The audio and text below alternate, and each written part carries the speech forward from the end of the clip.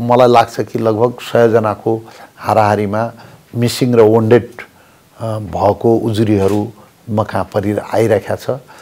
यसको लागि महामहिम रुसका राजदूतलाई हामीले चाहिँ आफ्नो मन्त्रालयमा बोलाएर आफ्नो कन्सर्न रुसी सरकारसम्म पुर्याउने गरेर हामीले आफ्नो स्पष्ट सन्देश दिएका छौँ र मस्को स्थित नेपाली राजदूतावासलाई पनि नेपालमा मानवाधिकार आयोगको कन्सर्नलाई समेत राखेर सरकारको दृष्टिकोण हामीले त्यहाँ पनि सम्प्रेषण गरेको छौँ गरेका छौँ। अनेकौं असफल प्रयासलाई सफलतामा बदल्न र आइभीएफद्वारा आफ्नै सन्तान पाउन सम्भव छ। वात्सल्य नेचुरल आइभीएफ युक्रेनमा बन्दी बनाइएका हकको का हकमा हामीले चाहिँ युक्रेन सरकारसँग हामीले सम्पर्कमा छौँ सम्बन्धमा छौँ। हाम्रो युक्रेन हेर्ने राजदूत ले वार्ता सम्वाद गरिराख्नु भएको छ र दिल्ली स्थित नेपाल हेर्ने युक्रेनको राजदूतावासबाट सँग दिल्लीबाट पनि कुरा भइरहेका छ। इन्टरनेसनल रेड क्रसलाई हामीले यो चारजना पिओडब्लु प्रिजनर अफ वारलाई चाहिँ रिहाइका लागि मुक्तिका लागि तपाईँहरूले चाहिँ सहजीकरण गरिदिनु पऱ्यो भनेर मैले चाहिँ हामीले आग्रह गरेका छौँ। र त्यसको परिणाम चाँडै आउला भन्ने मलाई विश्वास छ। अब जहाँसम्म रुससँगको कुरा हो रुसी सेनामा नेपालीहरूको केही सङ्ख्या रहेको त्यसमध्ये सातजना मान्छे रुसी सरकारले नै मारिएको भन्ने कुराको सूचना दिएको। र मलाई लाग्छ कि लगभग सयजनाको हाराहारीमा मिसिङ र वन्डेड भएको उजुरीहरू म कहाँ परि आइरहेका छ।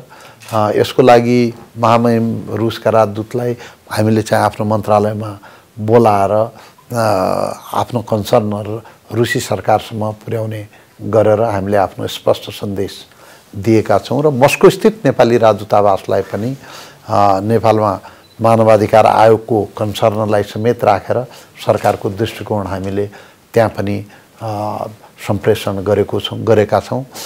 यसमा हामी प्रयत्न गरिरहेका छौँ। र रुसमा नेपालीहरू सैन्य भर्तीका लागि चाहिँ जानन् जान नपाउन् नजाउन् भन्ने उद्देश्यले एनओसीको प्रबन्ध गरिएको छ।